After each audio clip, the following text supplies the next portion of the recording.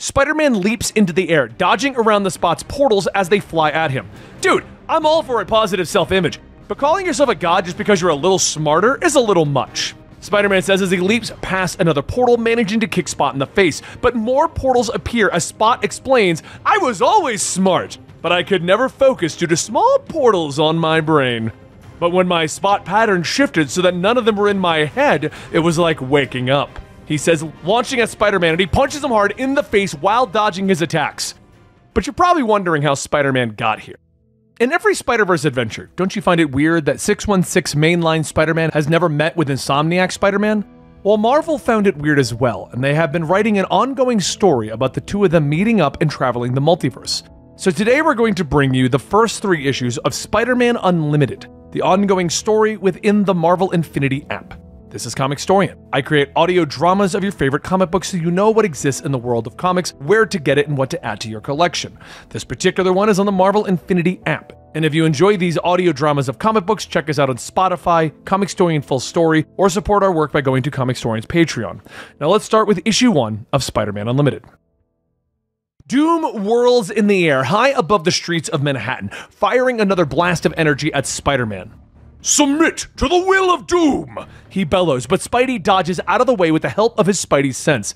Eat my web shorts! He shouts back. He shoots a web and swings back at the villain, kicking him hard in the face, causing a static cry to come out of Doom's mouth. Hey, you're not Dr. Doom, you're a Doombot! Spidey shouts in annoyance. The Doombot fires another blast of energy, explaining that Doom has far more pressing matters than Spider Man, and Spider Man is not even worth his time. However, he has identified a possible threat only his genius could detect, and commands that you attend to it. The Doombot shouts, but Spidey webs up his foot, throwing the bot to a nearby rooftop, refusing to allow the Doombot to be a quest giver. The Doombot slams into the rooftop, its head twisted funny from the impact, but it still gets up to its feet. Doom knows that you will do as you're told. This matter involves one of your foes, the Spot. You have a compulsion regarding power and responsibility. The Doombot says, no longer attacking, so Spider Man lands next to the bot. Well, I mean, if you want to be technical, he says, but he finally sighs, hanging his head. Just give me the quest already. The Doombot holds up his hand and a hologram of the Spot appears. The bot explaining that Doom has learned that the Spot is pursuing a course of action that could destroy the entire multiverse, and it offers Spider Man a detector watch that he could use to track the Spot's energy signal. Finally, the bot turns to leave, flying off into the city. Resolve this matter, or Doom will, by annihilating whatever landmass the Spot occupies, and all others unfortunate enough to dwell upon it. Spider Man shakes his head, sighing, putting on the detector watch and activating it before leaping off into the city.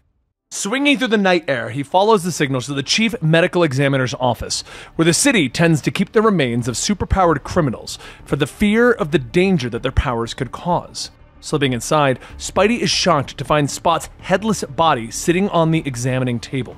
Don't throw open the mask, he shouts to himself, and as he continues to stare into the room, he's shocked that Spot could have even died, since he's died before, because his body usually dissolves and reconstitutes itself in the dark dimension, where his powers are from. Spidey peers from the vents trying to figure out what could be powerful enough to actually kill Spot. A short time later, Spidey is standing next to the table, having been snuck in by Detective Sebens so that he could examine the body himself. Using the detector watch that Doom gave him, Spidey passes over the body and takes a reading of the spot's energy signature. The energy signal doesn't match the spot, it's a much lower intensity. Spider Man ponders, thanking the detective for her help. But I want to consult with an expert on exotic energy, Spider Man says. A little bit later, he lands in Kadesh Base at the bottom of the ocean, and he thanks Blue Marvel for seeing him on such short notice. Monica Rambeau respects you. That counts a lot, Blue Marvel says with a smile. As Spider Man marvels at all of the sea life at the bottom of the ocean, Blue Marvel takes a look at the energy readings. He quickly discovers the truth. The body Spider Man encountered is not the spot of their universe. Spider Man sighs as he joins Blue Marvel at his computer screens. I knew it! I hate alternate realities. Don't get me wrong, some of my best friends are from parallel worlds, but more often than not, it's post apocalypses and evil twins and stuff. Blue Marvel nods, explaining that the spot at the morgue only had a fraction of Spot's powers. Presumably, that's why he could be killed. A multidimensional murder mystery, perfect for a team up. Spider Man cheers, but Blue Marvel shakes his head, explaining that he has a mission in the negative zone. Though he does recalibrate Doom's detector to hone in on 616 Spot's energy signature. With that, he leads Spider Man to his base's portals, which allows Spider Man to once again appear in Manhattan. Back in his city, Spider Man swings through the night air, tracking the spot to a Roxxon energy building. Through the window, he sees Spot using his powers to try and get through a massive door. Spider Man slips through the shadows, trying to sneak up on the villain, and finally he fires a string of webbing at the villain's head. But Spot whirls around at the last moment, and the web goes through the portal on his face. Spider Man! Hi! Been too long. How are you? Spot asks as he raises his hand and sends the web back at Spider Man's face.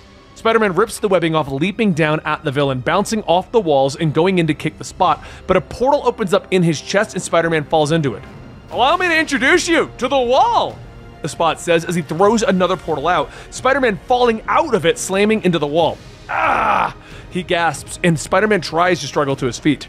There's something different about you, he notes, and the spot nods as more portals open up around him. He explains that something happened to him. His mind is no longer full of holes so he can finally think and react.